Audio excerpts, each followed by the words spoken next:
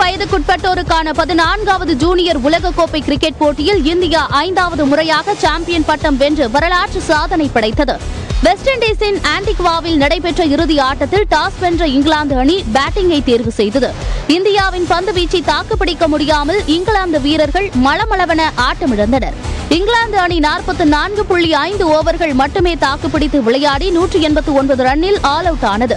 பின்னர் நூற்று தொண்ணூறு ரன்கள் அடித்தால் வெற்றி என்ற இலக்குடன் இந்தியா பேட்டிங் செய்தது. இந்திய அணி நாற்பத்தி ஏழு புள்ளி நான்கு ஓவர்கள் முடிவில் ஆறு விக்கெட் இழப்பிற்கு நூற்று தொன்னூற்று ஐந்து ரன்கள் அடித்தது. இதன் மூலம் நான்கு விக்கெட் வித்தியாசத்தில் இங்கிலாந்து அணியை தோற்கடித்த இந்தியா ஐந்தாவது முறையாக ஜூனியர் உலக கோப்பையை கைப்பற்றி சாதனை படைத்தது. சைப்ரஸ் நாட்டில் நடைபெற்ற சர்வதேச தடகள போட்டியில் இந்திய வீராங்கனை ஜோதி தங்கப்பதக்கம் வென்றார். நூறு மீட்டர் தடை தாண்டும் போட்டியில் பதிமூன்று புள்ளி இரண்டு மூன்று வினாடிகளில் பந்தய இலக்கை கடந்து ஜோதி தங்கம் வென்றார். அத்துடன் அனுராதா பிஸ்வாலின் இருபது ஆண்டு கால தேசிய சாதனையையும் முறியடித்தார். இரண்டாயிரத்து இரண்டாம் ஆண்டு அனுராதா பிஸ்வால் பதிமூன்று புள்ளி மூன்று எட்டு வினாடிகளில் இலக்கை கடந்ததே இதுவரை தேசிய சாதனையாக இருந்தது.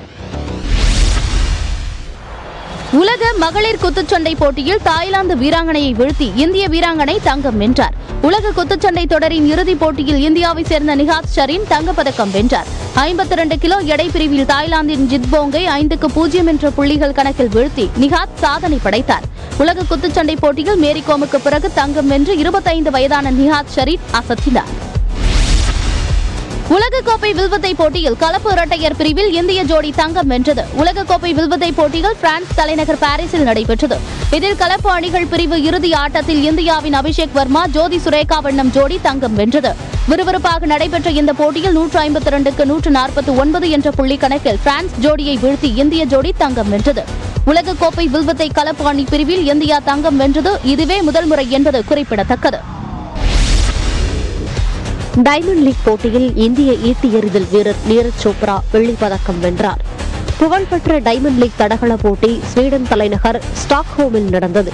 இதில் ஆண்களுக்கான ஈட்டி எறிதலில் களமிறங்கிய டோக்கியோ ஒலிம்பிக்கில் தங்கப்பதக்கம் வென்று வரலாறு படைத்த இந்திய வீரர் நீரஜ் சோப்ரா தனது முதல் முயற்சியிலேயே எண்பத்து ஒன்பது புள்ளி ஒன்பது நான்கு மீட்டர் தூரம் எறிந்து அசத்தலான தொடக்கம் கண்டார்.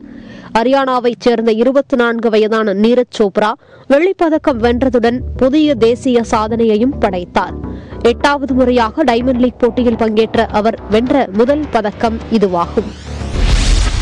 மூன்றாயிரம் மீட்டர் ஓட்டத்தில் தேசிய சாதனையை இந்திய தடகள வீராங்கனை பாருல் சௌத்ரி முறியடித்தார்.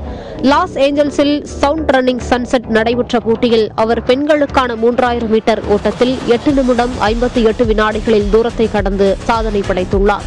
இதன் மூலம் சூர்யா லோகநாதனின் ஆறு வருட தேசிய சாதனையை ஏழு வினாடிகளில் பாரல் சௌத்ரி முறியடித்தார். சூர்யா லோகநாதன் இரண்டாயிரத்து பதினாறில் புதுதில்லியில் மூன்றாயிரம் மீட்டர் ஓட்டத்தில் ஒன்பது நிமிடம் நான்கு வினாடிகளில் இலக்கை கடந்ததே இதுவரை தேசிய சாதனையாக இருந்தது.